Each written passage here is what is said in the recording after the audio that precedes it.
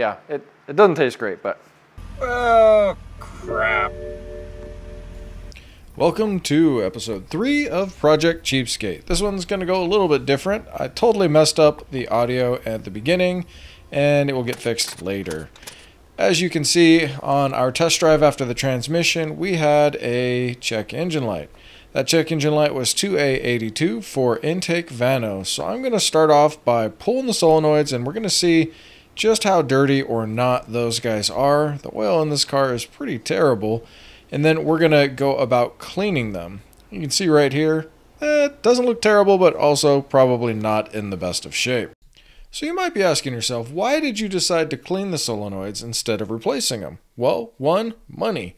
Uh, they're pretty expensive. I did buy, honestly, a set of Chinese solenoids on Amazon just in case, but I wanted to follow a decent diagnostic path here that I think most people should go down.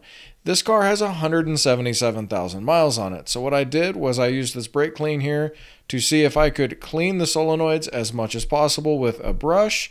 And then I'm going to swap them, intake and exhaust, since they're the same, and see if the fault follows the solenoid. If it follows the solenoid, we know it was the problem. If it doesn't, we need to continue down our diagnostic path. Now, in my case, I was able to get the solenoids to move using my little brush. And you can see here I'm doing the shake test to see if I can hear anything moving in there as well.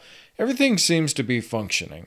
So I went ahead and reinstalled these guys back into the motor. I've got some seafoam running through there right now as well, 7 ounces, 1 ounce per quart of oil. That way I can see if uh, it will help to break up any of the debris or anything going on that might be plugging the system.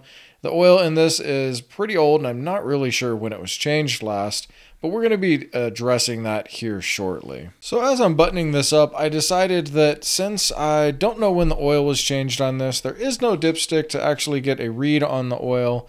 I was going to pull the oil filter out and just take a look at it. At this point, I have a spare oil filter that I was thinking I would throw in here while the seafoam was running through the engine, just to double check and see if I couldn't catch any particulate matter or debris. Now, I noticed right away when I started opening this filter up that I had a problem. Normally, when you open the filter, it drains back. This one wasn't draining back, and it wasn't draining back for good reason. One of the common issues that causes Vanos problems is the inside of your oil filter housing cap breaks off. And that center section there that I'm identifying, that's the problem in this case. Now, that's not actually the problem that's causing the Vanos, but it's a problem in general. So after this uh, uh, work here that I was doing, I went ahead and I ordered a filter cap. I put this guy back together with this filter, with the or with the new filter and the old filter cap for the time being while I'm running the system full of seafoam. That way anything can break down and I'll replace that when the new cap comes in. Well, it's been two weeks. I've been driving the car as much as possible given that, well, it's my only car. And the Vanos fault came back. Unfortunately, Vanos fault came back on the intake side for 2A82. So I've got a couple of ideas as to what could be the problem here. As you can see behind me, I've been working on some other things like a uh, DISA problem that I'm having, an oil leak problem that I'm having, but we're gonna keep those items for another video. We're gonna keep moving forward in this video. We've swapped the solenoids. I actually have a pair of new solenoids, but being that the fault stayed in the intake bank, I can't imagine that the solenoids are the problem.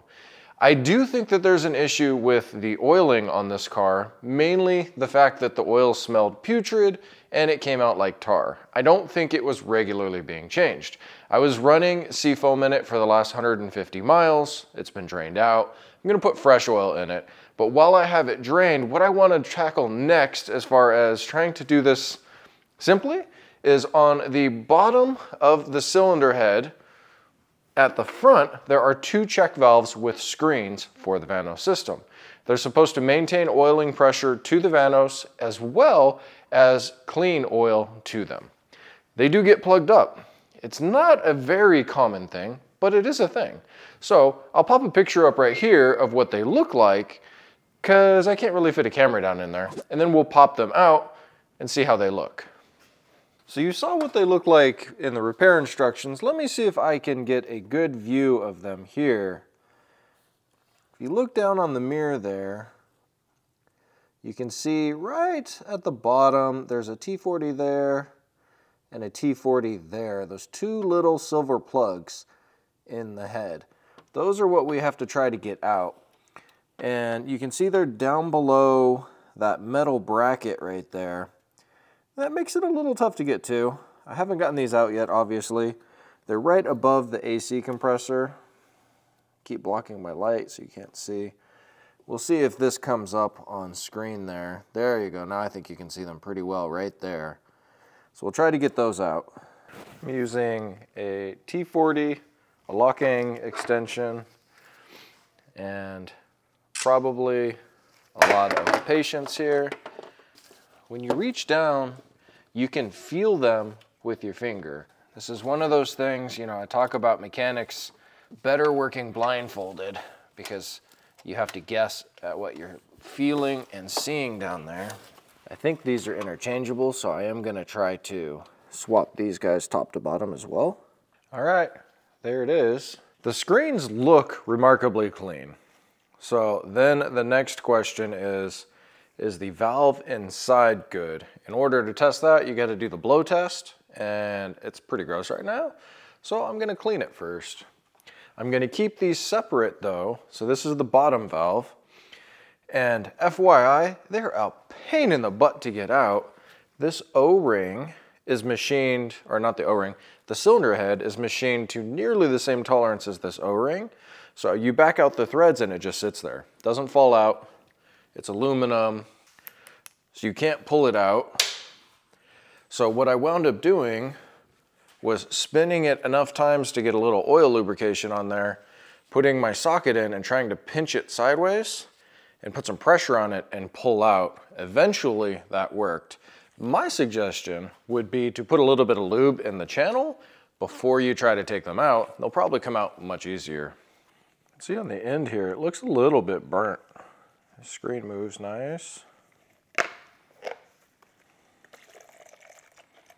I'm just soaking these in a little bit of brake clean. There's a little bit of chunks coming out. You can see some debris in the screen, but not much. Again, we want to keep these separate so that we can follow our diagnostic path here. This was the top, and we're going to put the top in the bottom and the bottom in the top here. See if our fault changes or comes back. So we've got these guys clean. Now we want to double check that they're functioning. The oil flows through the screen, through the check valve, and into the cylinder head, which means we don't want oil flowing back that way. One of the checks I've seen people do is the shake test. Let's see, my microphone's right here. You can hear it kind of clicking in there. But we also want to check that it's actually holding pressure. So you want to blow back this way I've cleaned them off the best I can. I mean, this is one of those things as a mechanic, you just like, whatever. So the top one is holding pressure. Now you want to make sure it's allowing fluid through, right? Kind of a brake cleany flavor. So the top one holds pressure, allows pressure through. Bottom one shakes, holds pressure, yeah, it, it doesn't taste great, but you'll get over it. Just deal with it. So they both work. I don't think these were the problem in my case. I, I think the camshaft control rings might be my problem. The last thing you can do to check them is there is a passageway where the oil flows through.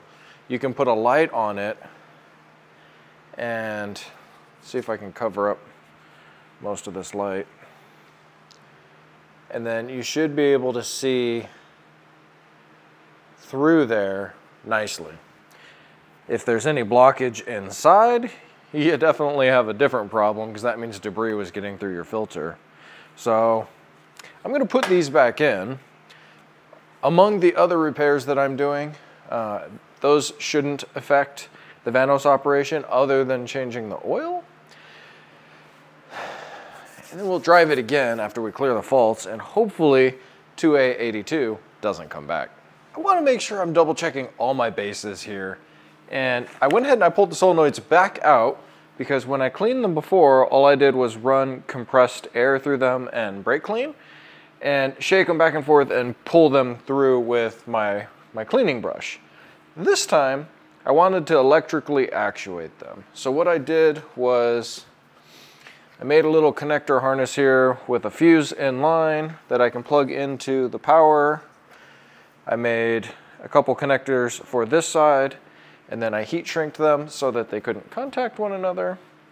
And then on this side, I'm just gonna contact to ground to actuate it. And as I'm doing that, I can feel it opening and closing. I can see it opening and closing, and it's ingesting the brake clean. You can see the bubbles. And I decided to control the circuit on this side so that there was no spark on that side every time I actuated. Let me move the camera up closer and you'll be able to see. So let's see if the bubbles continue in there. Yep, there's bubbles. Okay. I'll let that drip just a little bit. And then actuate some more. Hopefully that's coming through on camera. It is in fact moving. And it feels like it's reaching the end of its movement. So I'll clean this out some more and then I'm actually going to do that same thing in oil before I put it back in and who knows, maybe that will have helped.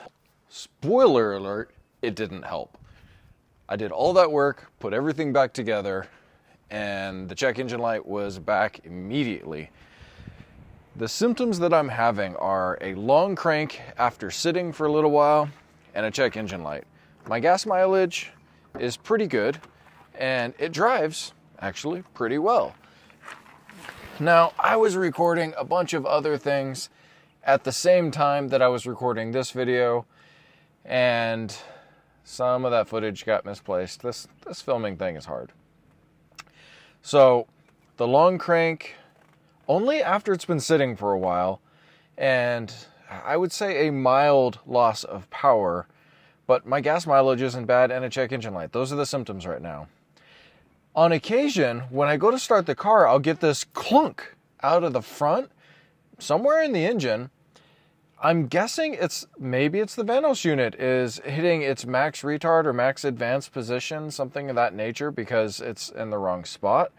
I have a feeling that there could be something wrong with the um, intermediate sensor as well, because when I check the uh, readings for the intermediate shaft based on the eccentric sensor, it says that it wants to be at one spot, but it's eight degrees off. So here's what I'm going to do. I'm going to end this video with this didn't fix it. You might be experiencing some of these same symptoms and chasing the same problem. One of the other things that it could be is it could be the control rings for the Vanos on the camshaft. Earlier engines had metal control rings and later had Teflon. Those control rings will wear into the clamshells and cause oil bypass, so the Vanos isn't going to operate properly. I really hope that's not the case in this instance or in your instance even, because on the N52, the clamshell is part of the cylinder head. That would suck. But I ordered a bunch of Amazon parts, timing tools, all sorts of things for this motor, and we're going to give it a shot. We're going to test it out and we're going to see what happens. I'll go ahead and start the car up right now and you'll see if it takes a while to start or not. Now, mind you, I was driving earlier, so we'll see. Eh, that wasn't really too bad. Let's see if it does the idle thing. Yep, there it is a little bit of an idle bounce. Sometimes that idle will bounce up over 1100 RPM. This time it just kind of bounced a little bit. It is surging a little. But you can see I've put about 83 miles on since I put everything back together and still that stupid yellow light. I just got to move my vantage point up a little bit and I can't see it anymore. Now there's a light. Now there's no light. now there's a light. We'll see how long it takes to get all of my parts and for me to get this thing ripped apart and if I can fix it. Hopefully it's not the cylinder head and it's one of the components up front. I really appreciate you watching. Like, subscribe, comment. Let me know what's been happening with your cars. Have you experienced this problem? Have you run into a dead end like me? I'm not solving the problem in this video because I, I, haven't solved it. And I'm just being real with you that sometimes this happens. Thankfully, the car runs and drives since this is my primary mode of transportation. And, well, I guess I'll see you in the next one.